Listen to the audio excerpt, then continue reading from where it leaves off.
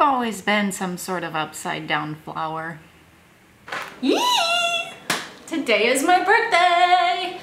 Uh, it's kind of a big one. It's my 30th. Upon entering this third decade of life, I knew that I wanted to do something crazy and to celebrate properly, as you do on decade birthdays.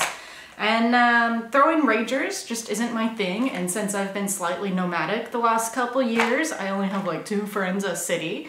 Quick backstory. Pew, pew, pew. What? Uh, in February, I was in a yoga class, and at the end of class, the instructor was like, okay, I feel you guys want to go into these inversions, and you know, for those of you feeling good and ready, go ahead and go into the dolphin. So I sit down, and I'm looking around like, what is the dolphin? That sounds crazy.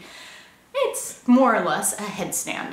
And so I do it. I try this headstand, and to my complete surprise, I am strong, I am sturdy, and my body just knew how to do it. Like I've just been upside down sleepwalking or sleep headstanding. I don't know. Like I just, I was amazing at it. I was like, what?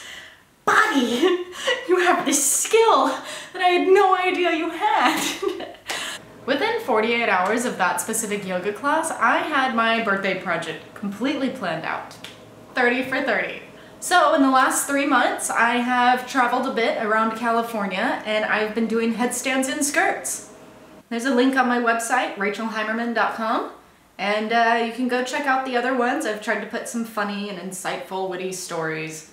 I think I'm very wise, but you know, you guys might read that and be like, no, Rachel, you're an idiot. and uh, the imaginary cat, she's just, she's a jerk, and so she doesn't want to celebrate with me. When did these party hats get so tight? I'm upside down, I'm having all of these revelations like, oh my god, Rachel, you are so good at headstands. Who knew you had this hidden neck? Who knew you were so strong and sturdy? My god, what a woman. Am winning yoga class. That was my thought in yoga class about meditation and personal growth. I win yoga class. I am strong, I am awesome, I'm upside down. Pew! While we're here, I might as well confess something. I'm a Slytherin. I took the test like seven times.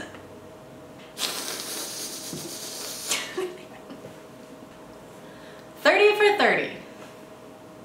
Says too many hands. Do I need more hands? And um, you know, sorry mom and dad I posted my ass all over the internet, but um, I'm an artist. I can see myself continuing, but uh, yeah, that's my project I'm doing to celebrate being 30. Yeah. Stop. There it is. Bye.